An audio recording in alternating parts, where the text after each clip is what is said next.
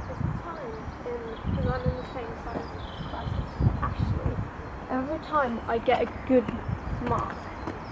and Ashley gets a bad